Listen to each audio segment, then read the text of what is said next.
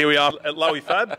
This uh, beautiful uh, race car. It's a VN Group A that's in the build, a replica one with a big blown LS and, and whatnot, and should should do some pretty cool stuff on the scene. But we won't go into that too much because we're going to talk with Damien. Yeah, have a chat with him about Exactly. this car, this build. Exactly, exactly right. So today we're going to obviously talk with Damien. We're going to have a bit of a chat with Aaron as well. Aaron won Street Machine of the Year with his uh, very cool truck. Yeah, absolutely. He's a cool guy, right? He's a great guy, and he's working on working on a few uh, few projects. Probably not for this year's Summernats, but he's definitely he'll always have something in the build He- for Summernats. even, even if it's someone at someone, he's influenced somebody that goes Yeah. to someone as right, and, and the scene Definitely. and the scene in general because of his Definitely. great work. So last week you had a chat about some of the things I've been doing um, in lockdown. My EH, I believe it might be a little uh, a little project of yours here. Is that correct? Yeah, it's behind Mount Everest in a big behind a big cloud of, uh, of foam. Apparently, uh, that's there, which we'll have a look. We'll go and try and find it. So would that be the car we were talking about way back? It is. It is. So you told me that was VL. going to be finished by now. It was meant to go to Summernats, but it's not going. exactly. For whatever reason, it's uh, just you know uh, it's been a bit of a battle and trying to get it finished in time, and hopefully we can get it done. Hopefully for the middle of next year. Yeah, uh, I've been doing a build series on my YouTube channel, just the JBens it's called. I've been on there. It's been pretty cool, pulling it apart. I think there's about it's up to about just about to go to the panel beaters now. So obviously the car's painted at the moment. Yeah. But the series is just sort of just kicking along, and it'll come up to date in about uh, about a month or so, about a month and a half. But it's going to go to the beaters where it gets sandblasted. It was, mate, I tell you what, if you've ever stripped a VL dash, you must hate life because it was horrible, absolutely horrible. I don't know if it's hard in other other, other cars because It I is. really. It is. It's a nightmare. I think it's easier coming out than it is going back in. yeah, too, that's, so. that's like everything. But yeah, we'll have a we'll have a little look at that. We'll have a poke around. It's um That's it's painted and it looks amazing. Honestly, it's it's uh the the, the guys that done it. It's it's it's looking smick. Yeah, fantastic. That's So, all good. yeah. All right, well, let's check it out. Let's go have a look.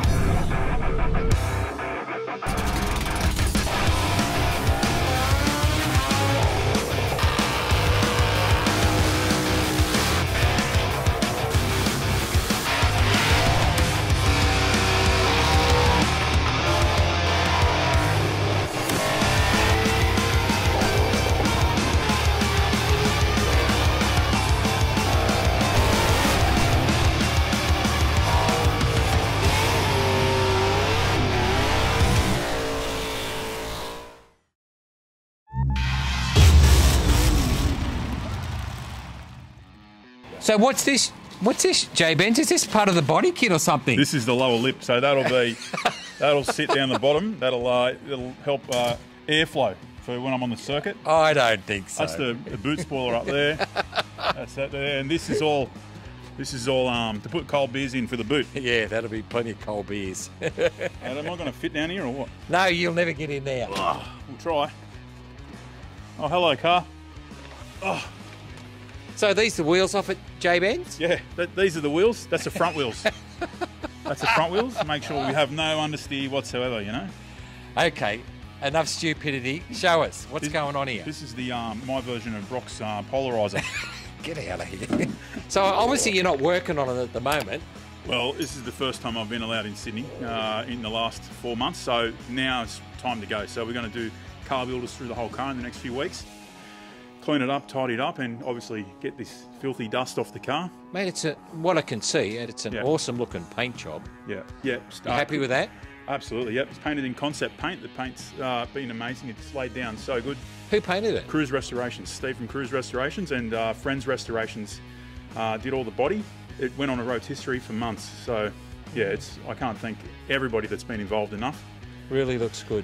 It's one of those things where once we get it out of here, hopefully I can get all the bits ready and we can get it back together. Everybody, you know, knows that it builds a, a bit of a mission, you know. But- Absolutely.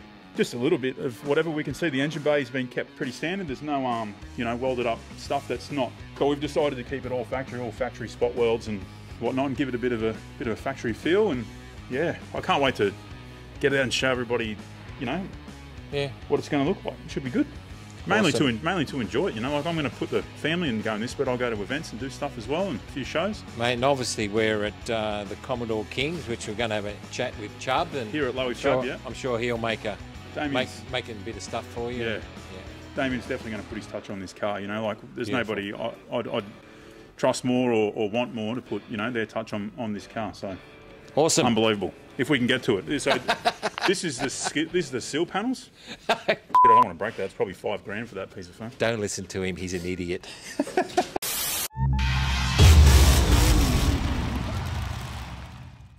So obviously Damien sells a lot of Commodore stuff. I've got a few Commodores, so I'm going to go and pack myself some parts and send them to myself. Let's go. I'll just go in here for a second. Hi, how you going? Acoustic liner, I need one of them. Some tough mounts, a couple of brackets. very nice, thank you very much. Some K&N filters, put that in the box. Where's the packing tape? I've got to send this stuff to myself. 5% discount. He said I've got to pay double. That's what you get. So say my name there, mate. No, mate. What are you sending me? Chubby? Well, I'm not no more. You, I think you are. I think I am. so, Damien, what's these blue pills, mate? I don't know. Actually. And why is, why, why, why is the measuring tape next to the... Uh... Summernats is all about loyalty, right? Yes. Before you first go, you never stop going. Someone who's I've, I've... I've only been to 33. 33, and how many have you been to, Damien? All of them. So two of us here been to 33. I've been to about 12. Yeah, wow. And it is all about loyalty. Just on that note, um, yeah, wow, 33 years. That's not many events go that long, so it's pretty amazing. And boy, are we looking forward to the next one. 34. wow. Absolutely. So, uh, obviously, we're here at, uh, at Lowy Fab. Damien, how are you, mate? Good, mate. How are you? Long time no see. Long time no see. That's, that's exactly right. I- For everybody. Yeah. Exactly. Yeah, you've got a um, not to jump straight ahead of, of, but this is in the build, mate. This is Owen or the car? Pretty- It may- you can't improve on perfection. That's it. That's a killer looking car, Chubb. So what? Uh, what's the story with this? Full build here. Um, Like just the engine bay, like Commodore engine bays are, are pretty ordinary to start with. So you fab what? Firewall. firewall, inner guard, Tubs. radiator support, everything. Um, double wishbone front end. Yeah, it's a, it's a. I can remember the car on the hoist about a year or two years ago. Two, not even two years. Yeah, under Yeah. two years. Yeah, when all the front was obviously being taken out to do the front tubs. It's come a, a long way, mate. This car's going to do some uh, some some damage on the show scene for sure, right? It's really interesting with the whole Commodore thing. Is just uh, just absolutely peaking at the moment, isn't it? With the uh, Billy Shelton winning at at um, Yeah. Red Centre Nats and getting so much coverage at Street Machine magazine and. Yeah, so they've really come into their own now, haven't they? Exactly right. Which would be good for you guys, Yeah, you yeah. Commodore guys. Yeah, loving it. Yeah. So, just on that, I met you. I met you. Your business is is it based around Commodore stuff? Uh, probably 90% of my products and that I sell Commodores, yeah. Yeah, right. What sort of stuff? What sort of products? Give yourself a plug. um, Well, I do the the main thing at, at the moment is the wheel dollies and stuff. Um, they're, they're, booming. They're out the door. I think everyone lockdown projects. Yeah. shipping their Commodores. yeah. Um, and then from there, just the usual like dress up stuff for the engine bays, billet caps and buttons and catch cans. Yeah. Yep. And Fuel been tanks. been good through Yeah, COVID. hasn't stopped. Like bu- busier than ever. Yeah. I mean, most people in retail or people making components Yeah. out of control, busy. I've um, I've got brake kits and suspension parts ready to go. Just COVID, just couldn't keep up with the current orders, so no Yeah. time to release new products.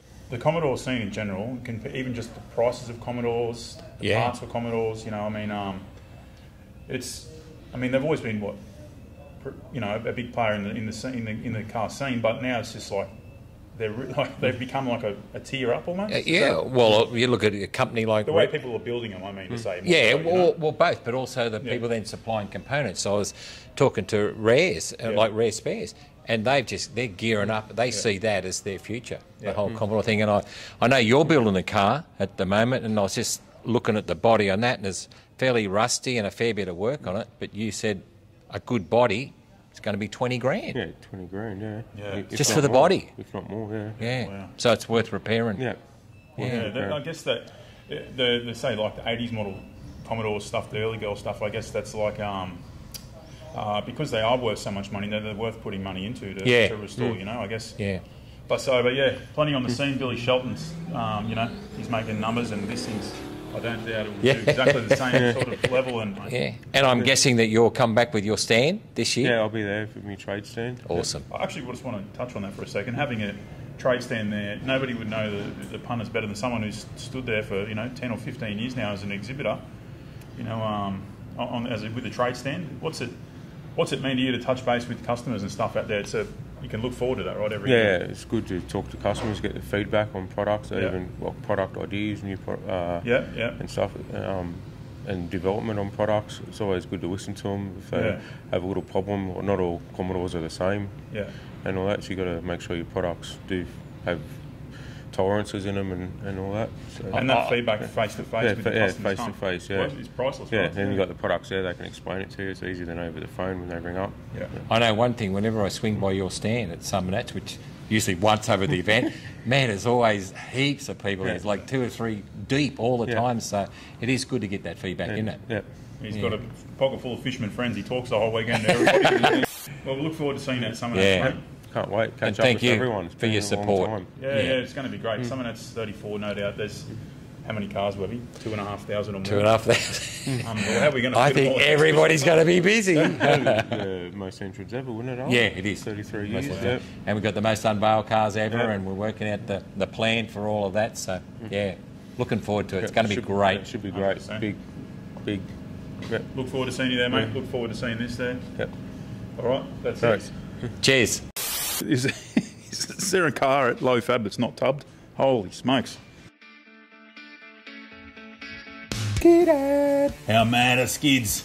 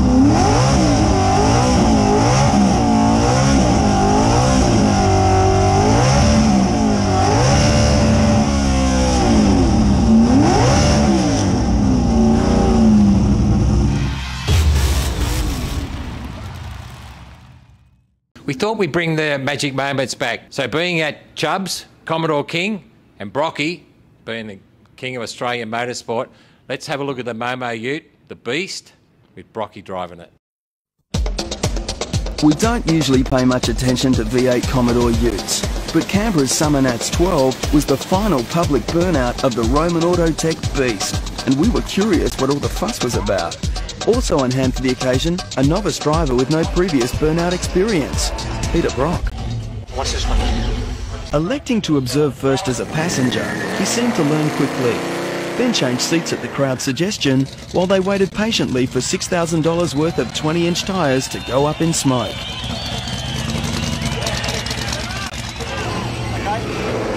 So we just hung on. As expected, a 700 horsepower alcohol burning supercharged 8.2 litre Chevy V8 had no problem making a bit of smoke.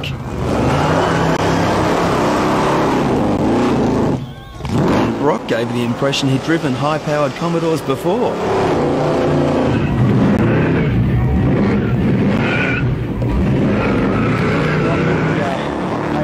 appearance, showing that he can do good things for you. Even the track announcer was getting into it. Brocky is really one of us. Guess that means we're all retired motor racing champions.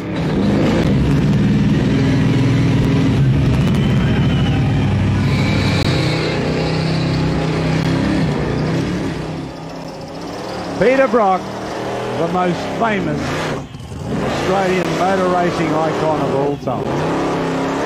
On ya, Brocky.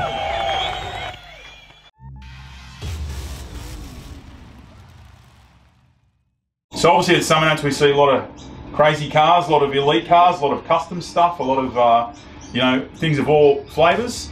We're here at Aaron's workshop, Webs. Yeah, fantastic. Look at Aaron's absolutely at the top of his game. And uh, so let's have a bit of a chat to him. He's obviously got the street machine in here.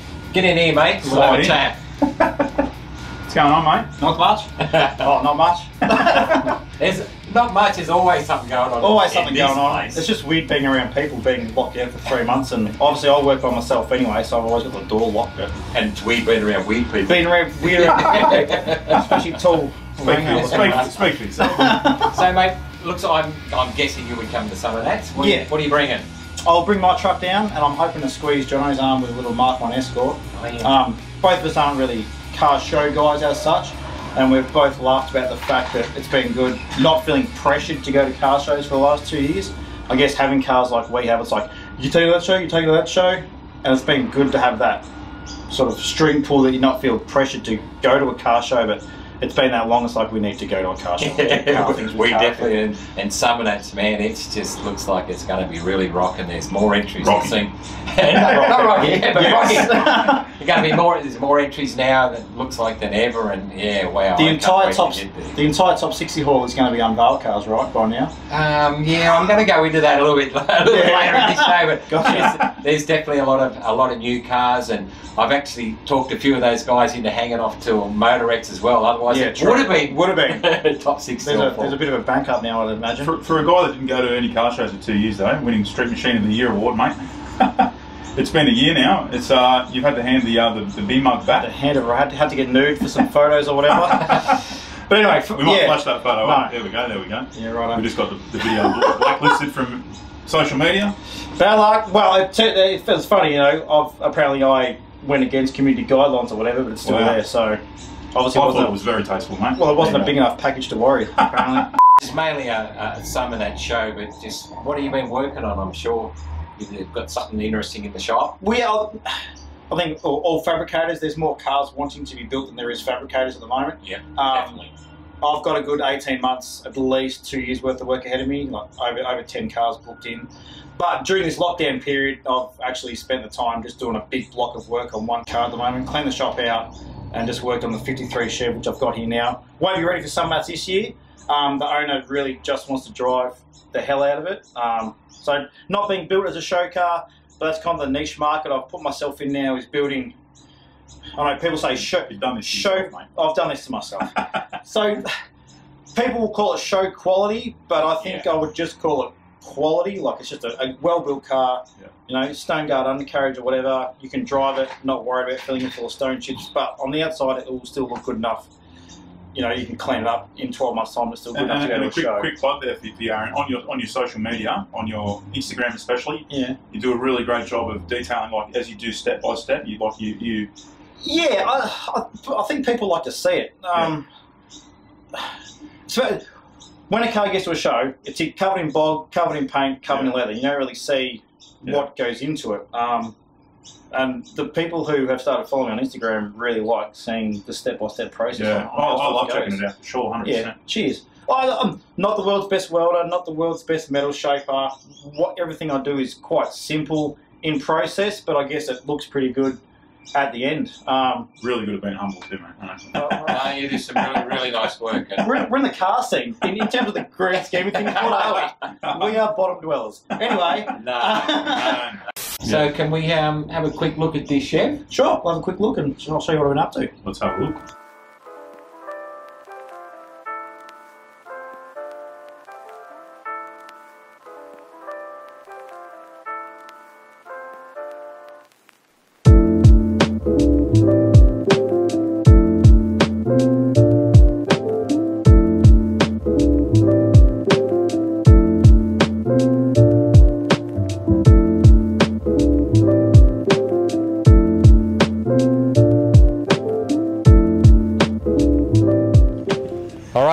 We're going to have a couple of entrants of the week.